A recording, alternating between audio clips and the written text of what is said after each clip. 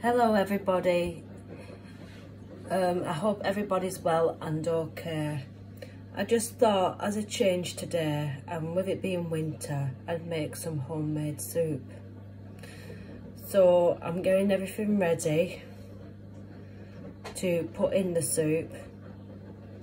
So I've decided today to make some mushroom mushroom soup. So um, I've got my leeks, I've got sweet potato. Sweet potatoes good in soup as well. And I've got some mushrooms. So hopefully it'll be good. And I've got my vegetable stock. Even though um, Richard is a meat eater, he will, he will eat homemade soup without meat in it. So so there you go. I suppose in his own little way, he is helping the planet as well. So I'm going to start chopping my vegetables. My leeks, you should always wash them first. Okay, so cut them through the slit, just like this. And then it's all like well I suppose it's like a boot that and then we just run it under the tap and make sure that everything is clean to use.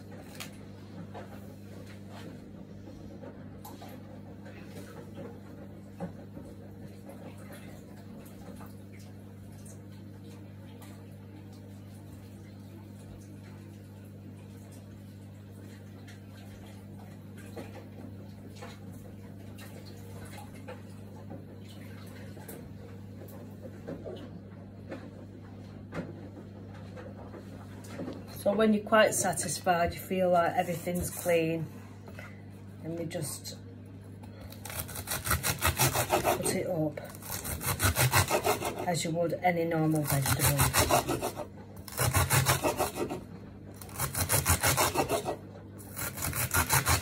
So I've decided to use two leeks.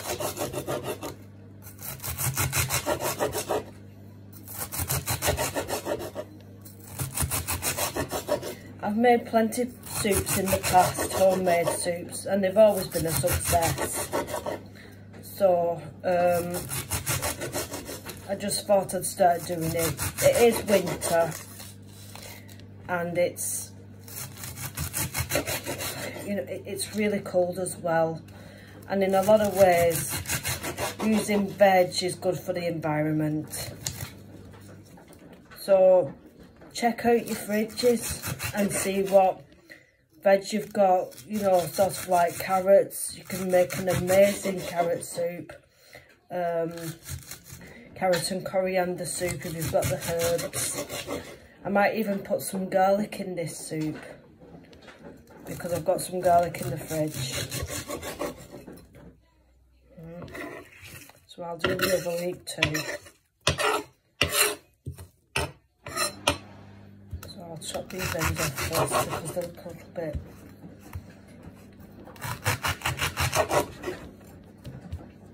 And I'll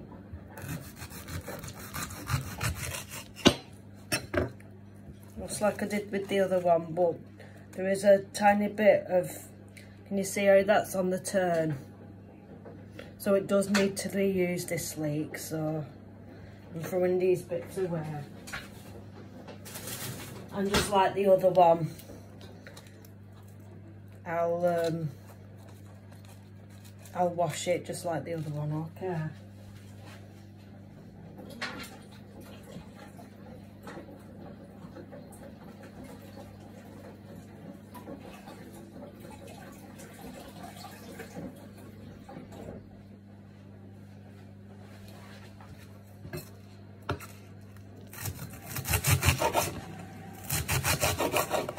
So, for flavours,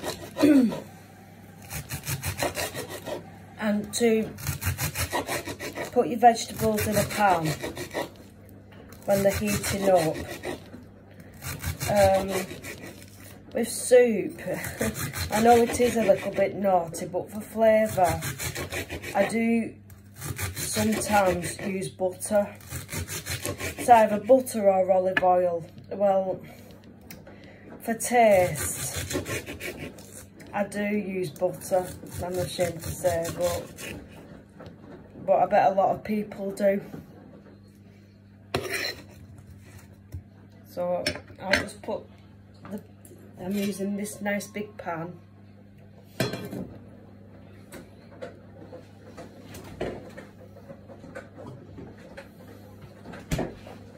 So spoon to scoop this to, to scoop this butter out. Right. And the butter should melt more or less straight away.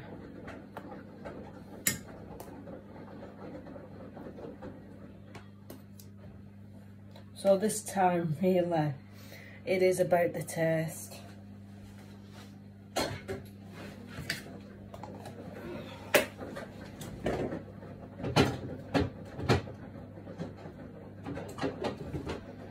Um, Richard's alright, he's just eating his breakfast. So I'm just waiting for that butter to, to melt. So while that butter's melting, I can concentrate on the mushrooms.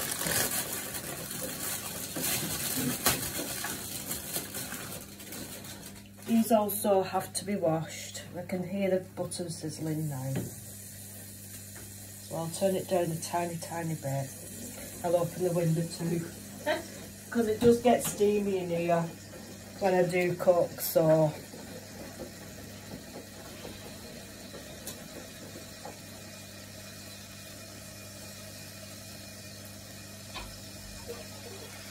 Oh, hey Richard. Hey, Bunny. So, can, uh, have you finished with your ball? Yeah. Oh. Oh. Yeah, you, you give that a rinse. Right, the butter's nearly melted. So, and Richard's alright as you can see. So I'll put my leeks in.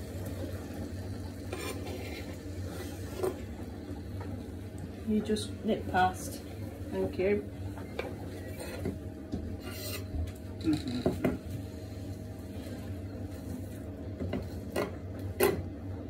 I'll say for this, this for Richard, a cook and he will try my cooking, which is really nice. Even if it is vegetables. Uh, for some reason he does have a problem with um, with salad vegetables. So it's no picnic to get him to eat salad vegetables. He'll only eat it hidden in a sandwich. Oh, is that for me? Is that my present? Thank you. Yeah. Merry Christmas. So it has gone on the floor a tiny, tiny bit. My uh, some spring onions, but not spring onions. Sorry. So I'll start cooking, cutting these up, these mushrooms, and then I can throw these into. So I'll, I'm sorry, I've not got much of a kitchen, to be honest, um, but I am doing my best.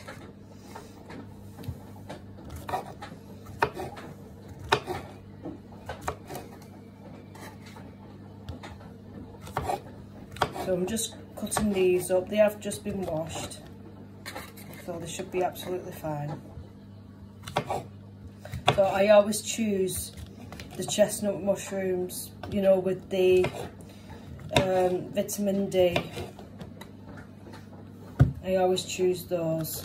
Then at least we know we've got some vitamin D going in, into us. Which is um, vitamin D you get from the sun the sunshine which do you know I've been for blood tests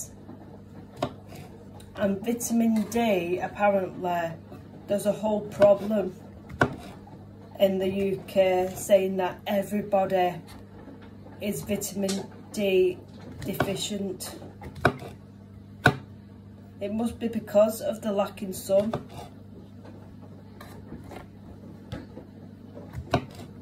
Because we're lucky yours, even in in the um, summer, we're lucky if we get any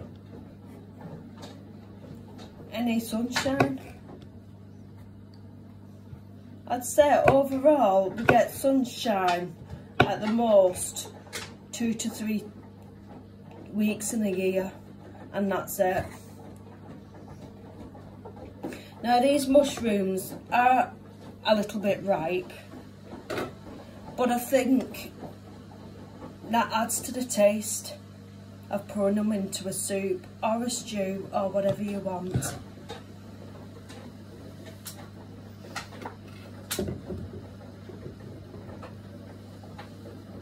So I'll put these in there.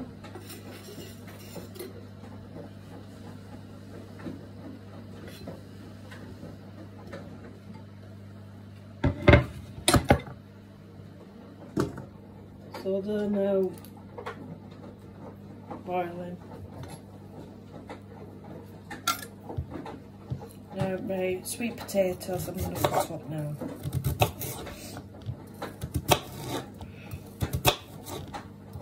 So I can either use fresh garlic,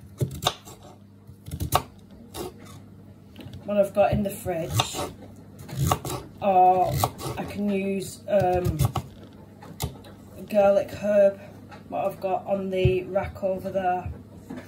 I said I'd, I'd show you that garlic rack, that's the herb rack, and I've still not done it. Never mind.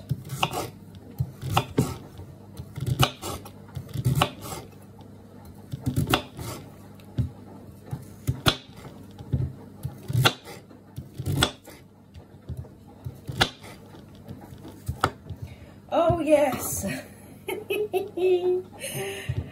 I've got a feeling this person is going to watch this video, but I got, I actually did a video and I deleted it. because I, cast doubt in my mind. uh, it's making me laugh now thinking about it.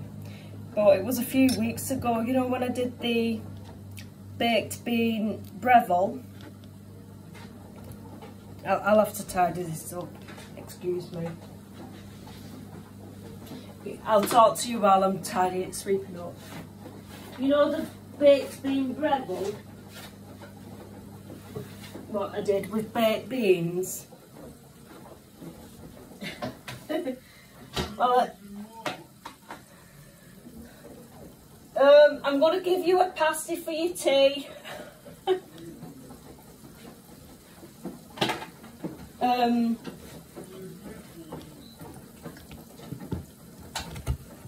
I did a bean, be, be, bean Breville. Right. And I filmed myself doing it and I posted it on here. And somebody, it, it, was the way he said it, though, saying that my carer needs to have a word. My carer. So I'm think I'm starting to cast doubt in myself. And what what it was was with it being a, one of these Brevilles, you know, a Breville machine. Well, you lift up and it shows the lights. Now, it's a sandwich toaster. I think that's the proper name for it, but they call it a Breville. And what you do is when it's all heated and you put your toast on, you put, you do, you butter the, the bread and you put it, the the um, butter side down. And the top one you butter your bread and the butter you put it on top of the other one and the butters the butter is on the top. So I'm thinking, have I done this wrong? I, I did start casting doubt in my mind. So I actually asked my mum, is that, are you sure that's the correct way? And I looked it up on the internet. And anyway, it's right. So, um, I don't know what he was on about, or the person was on about.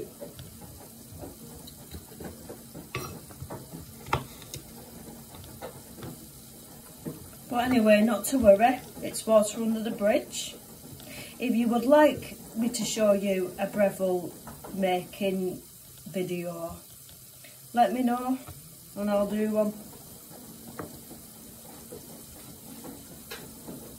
So I'm using my vegetable stock pots, which are these. They're not by Knorr, but these are from, these are Bramwell's and they're a making Aldi. And um, sometimes I get the Knorr ones. But I'll turn this down because I don't want things to burn. Um, I sometimes get the Knorr ones, but you know, so I'm going to get the stock ready now. And the Knorr ones are a lot more expensive than the Bramwells. They're like well over a pound more. So this is a, a cheaper alternative, but still does the same thing. Not that I'm calling Knorr. Knorr's great as well, if, if you can afford that kind of price. Okay.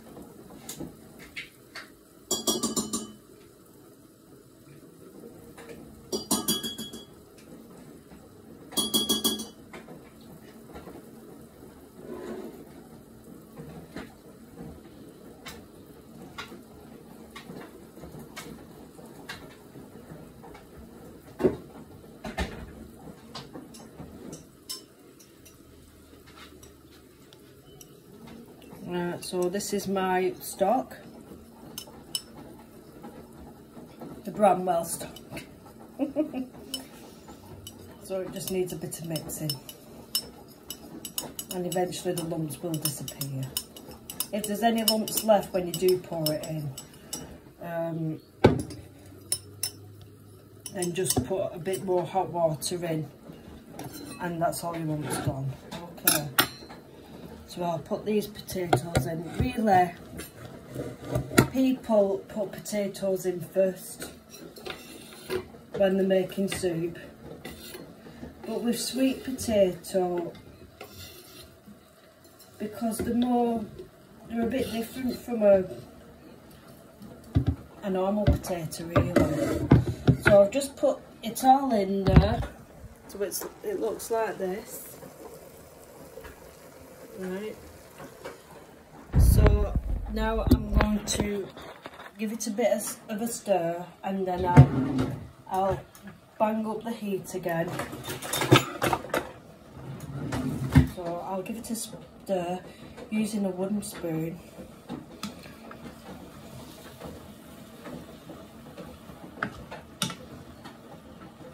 So I'm giving it a stir now, so everyone to see.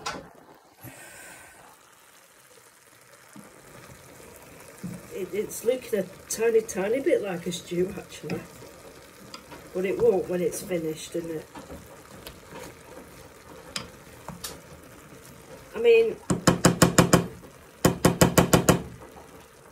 to make this, it, you, once I've put the stock on, in and I leave it to cook, it takes about 30 minutes. So, put the stock in now.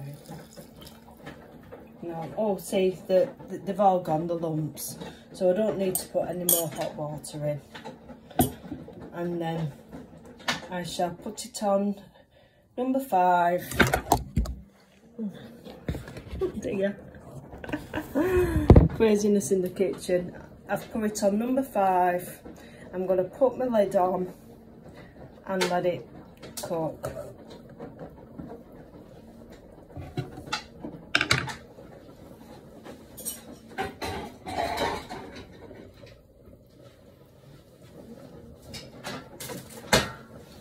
So it should take about, yeah, about half an hour.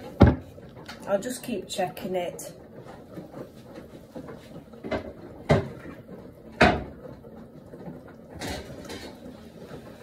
So later, when I do dinner time with me, which I'm, I'm going to do now, I will make it, excuse me, I shall make it my mission to do dinner time with me because I will be serving this. And hopefully fingers crossed it will be a success. I've never had any fault with my soups before so I don't see why this would be any different. Okay so I am going to add some herbs and and stuff um, later. Let me show you my rack. I'll have remembered so this is my rack. I got my dad to um, put it on the wall for me. so, well I hope you enjoyed this video. Like I say, sorry I, um, I wasn't able to get everything in view. But I hope you've got an idea of what I was on about. Okay, so I'll see you in a bit for lunchtime with me. All right, bye.